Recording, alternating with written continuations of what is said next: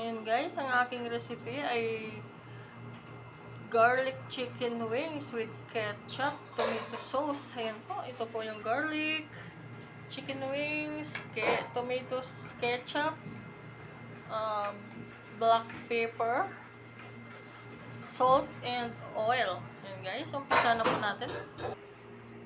Oil po muna, guys, oil.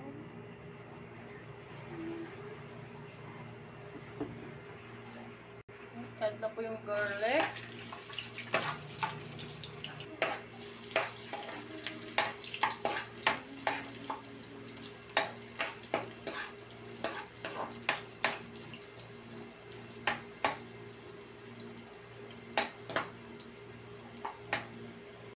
Add chicken wings.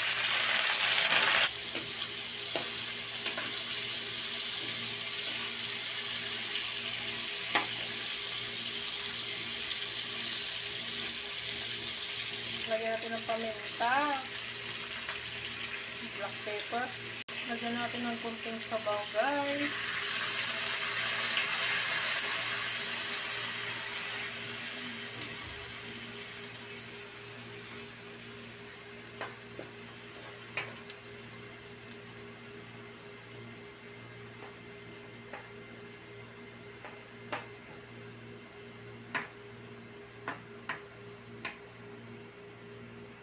Lagyan po natin ng asin, guys.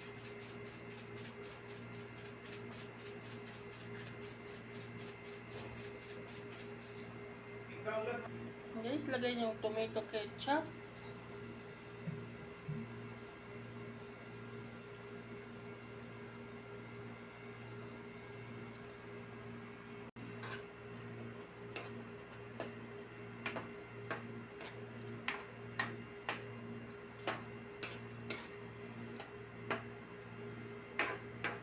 Tayo po natin itong mag-melt.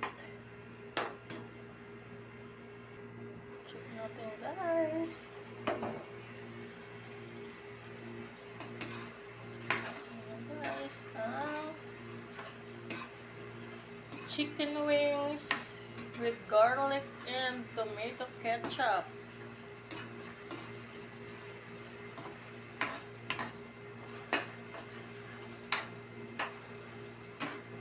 Pag maasim po ang inyong ketchup, guys, add-ons lang po kayo ng sugar.